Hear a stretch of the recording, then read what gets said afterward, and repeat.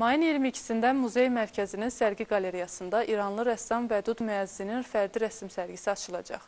Muzey sərgisindən bildirilib ki, sərgi Mədəniyyət Nazirliyi və Azərbaycan Rəssamlar İttifaqı birgə təşkilatçılığı ilə reallaşacaq.